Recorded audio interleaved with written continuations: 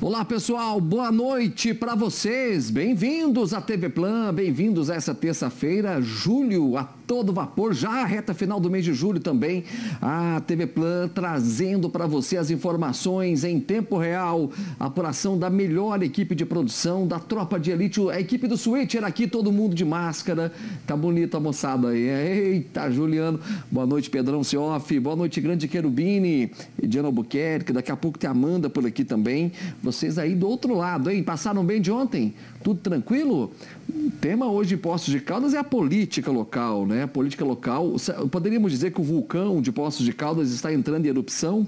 Será que estamos pegando no tranco? Vai pegar no tranco essa pandemia, só mesmo a TV Plan, só mesmo o Grupo Cioff para fazer o negócio ir para frente, hein, gente? Com essa pesquisa que nós divulgamos hoje pela manhã é, quem não acompanhou lá no Manhã Show da Band, uh, também na edição do Plantão da Tarde, daqui a pouco você tem a oportunidade de acompanhar a terceira pesquisa de intenção de votos para as eleições 2020, eleições que acontecem no dia 15 de novembro. Saiu, acabou de eu não, acho que eu não vou falar que você saiu do forno, né? Porque no forno foi de manhã, né, Pedrão?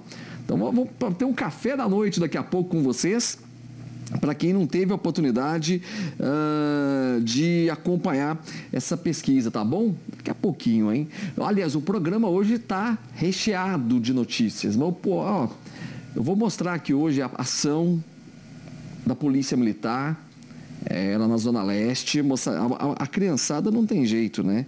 A criançada não tem um pingo de juízo. Eu estou falando aqui, gente, por que, que eu estou olhando no celular e falando com vocês? Que eu estou acabando de receber uma informação aqui sobre um caso que nós vamos falar daqui a pouco. Inclusive está aqui nos destaques do plantão.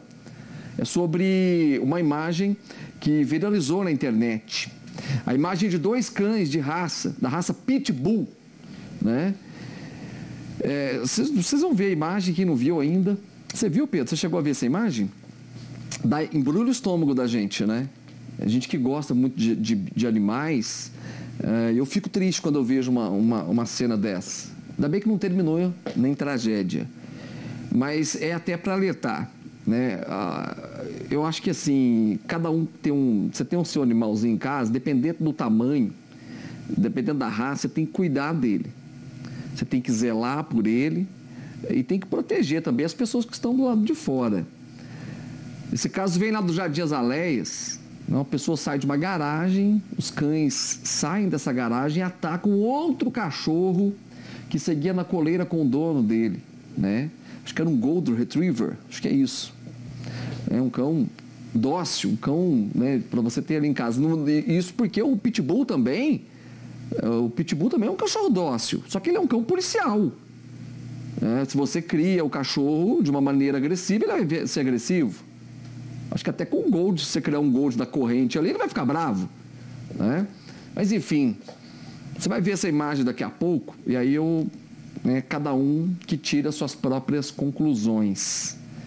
Olha, o motorista inabilitado é abordado pela polícia militar após denúncia que ele estaria com drogas e arma de fogo. Durante a abordagem, nada de ilícito foi encontrado com o rapaz. Essa imagem aí nós vamos mostrar para você daqui a pouco no plantão, hein? E teve um outro motorista que perdeu o controle direcional em uma curva na Avenida de Mundo Cardilo, vereador de Mundo Cardilo. Acabou batendo o carro também, hein? Tem mais destaque chegando aqui no plantão. Com ele, repórter Luiz Felipe Galo. Olha só, Galo, boa noite, bem-vindo, conta tudo pra gente.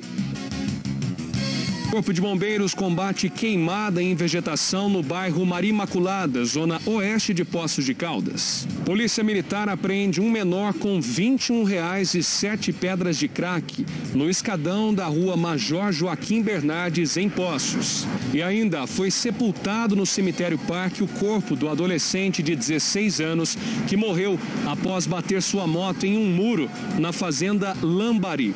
Tudo isso e muito mais hoje no Plantão 47. Tá vendo só, gente? Tem muita história para a gente contar aqui. Claro, vamos falar da pesquisa, vamos falar das eleições 2020 também, aqui dentro do Plantão 47. Agora comigo o recado, vem lá da Oral Sim Implantes. É um depoimento super bacana, acompanhe comigo.